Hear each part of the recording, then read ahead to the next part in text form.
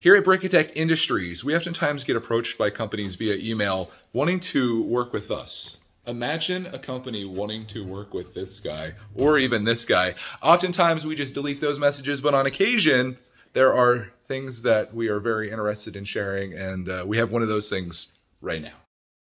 This is what we got ourselves into here. This came from Micro Slot Racing, and while we're not a slot racing channel or do anything with slot racing cars, what appealed to me with this is that the base plates around the track of this actually have Lego studs, so you can build around the track. And I just thought that was a really cool concept. They not only sent this over to us, which here's a look at the back, where you can see all of the detail and how crazy you can get with this, they also sent over an accessory pack where we have two extra cars and some extra track as well. Whoa. I like the cars. Yeah. Pretty tiny and small. Mm -hmm. There is actually some Lego to be built in here as well. Or what looks like Lego. And a ultra, ultra rare yellow brick separator. Cool. First time having one of those. That's pretty cool. Like they go in and then they go back out. Oh yeah. They go in together. Here's the start line. Let me show you how these things go together here. Easy peasy. So that's going to be the top part of our track. I'm just kind of copying what they have here. One, two, three. On line. But we try to find go-kart versions of these. That'd be pretty neat. I'm actually wondering, I know this is like way ahead of the times, but could we like take these bodies off and then make them out of Lego? Because that's where the only, I think, missed opportunity is with this without actually having it built yet, is that they should have made these kind of like brick built. So you could customize them and make your own cars too. But we could try that. I think that'd be actually like next level. Maybe we could give them an idea for version two of this. But I won't uh, critique this until we actually have it built. And I still got a little bit more to go. This is looking so far, Dad. Yeah, I like it. Check this out. Put that in there. So then you got like a place to build right there. We got a couple more pieces left here. I took my head off the box. This is very dangerous making slot car videos, guys. Don't recommend it. Come on, baby. I'm pretty hairy trying to squeeze that in there.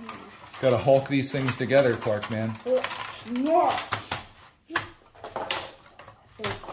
We all good here? These two go up here to make like a, a giant grid. Oh my gosh. Look at that track. Holy smokes. Okay, that's just like the, the very basic thing. I do want to test this out to see what it's like to actually make sure that it works and that it's worth investing in. So uh, right here, you got to plug the controllers in there, Clark, man. Put the black and the red one in there. And there should be another cable as well. Although it says cord included, USB charger not included for this. Yes, that's what we need. I hope it's a long one because you have to figure like we have to get all the way to an outlet from here. I think like six feet would be would be good. Um, yeah, that's not that. It's also unfortunate this is micro USB because if it was USB-C, I already have the one for my laptop and we could easily make it over here. But now I need to, uh, I guess I need to get an extension. Which car are you going to be, Clark? I want to be the red one. I figured. Uh, plug in our extension cable here. Oh my gosh.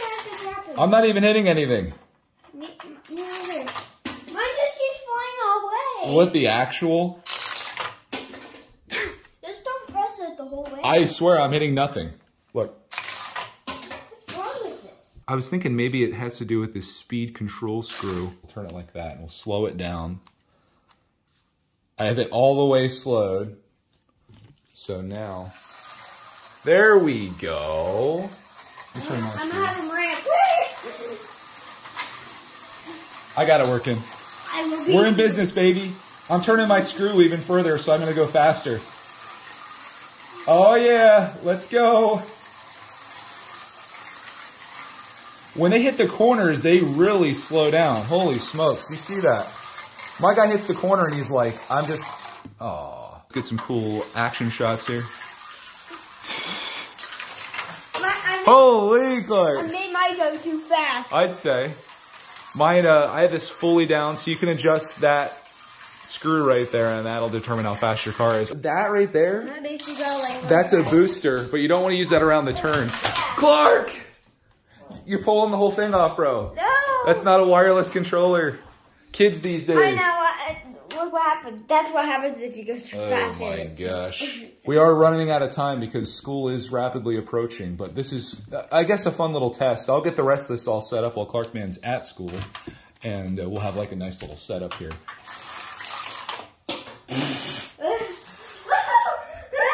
With Clarkman off to school, I went ahead and did what any self-respecting adult would do. I finished my micro slot racing set, and I wanted to show the additions off to you, most notably this brick-built garage, which architecturally not much to look at, but it was a small Lego build that I included with this. Instructions were pretty good. Piece quality is decent as well, much better than what these base plates are. If you're a Lego enthusiast, these base plates are to be nothing but a disappointment to you because they are just super cheap. And that's unfortunate because that's what really drew me into this as a Lego guy. I was like, oh, that's cool that they're doing slot cars with Lego, but the Lego portion of this is it, it's not so good. What is good is the car color selection. We've got the green car and yellow car in there, and I took those out of this extra pack that they included. So this was a bonus on top of the the base set, I suppose.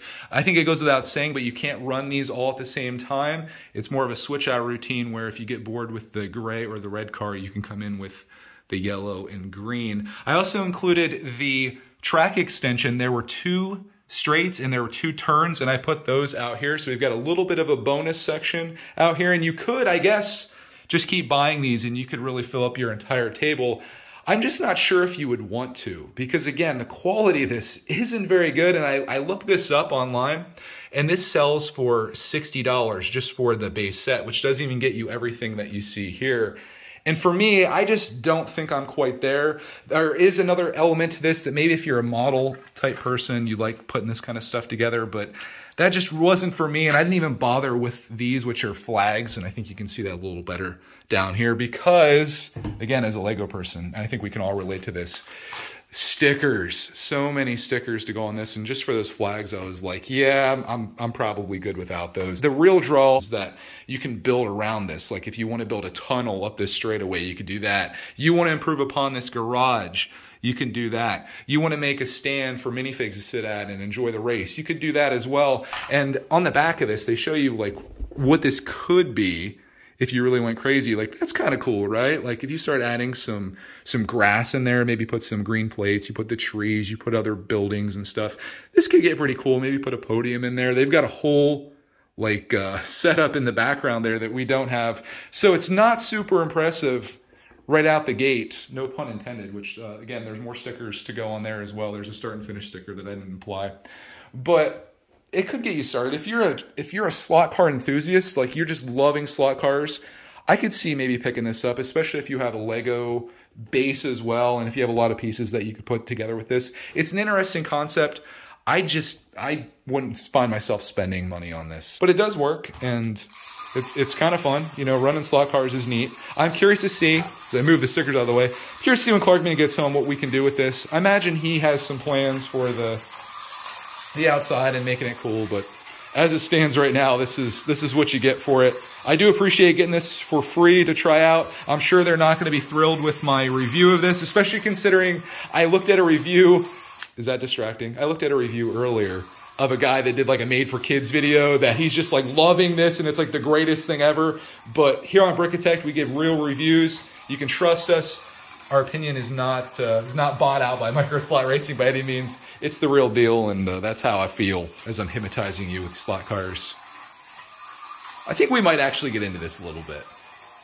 It's up to Clark, man. We'll see. Man's home. The legend is back, and he's ready to run some slot cars. Put the garage. And we got some new cars in there. I actually put the sticker on too, the finish sticker. I didn't build the flags though. I shall not. I will not. My green one's in the lane right now. The yellow one's in last place. Hey, you don't, you don't get of me. Who's faster? I think the yellow one's beaten. We'll see. My yellow one's beaten. Yeah, my red car's getting a little janked around the turns there. My yellow one's just easy as easy. You want to Oh, make a different track configuration? Yeah. Okay, I'll make a long one. Ah! This is the massive straightaway track. So the start line is actually down here and you go through a bunch of turns and then you go all the way down and then all the way back down to a photo finish off of this massive straightaway. All the way down, baby. Ready? Oh my God. That landed on me, bro. All right, here, I'm gonna hit it. you, you gotta kill the uh, turbo before you get to the end. Yeah, you need to stop that turbo. Big time. Oh, that's not for dad. We have a problem? Yeah, that is not snapped in, bro. Okay, here we go. Red car is Oh, I spun out. Can you fix me up there? I'm at the very top end of the straightaway. Hey! Mm, I'm controlling you. Yeah, you put me in the wrong thing. I'm on the outside lane. There we go, turbo.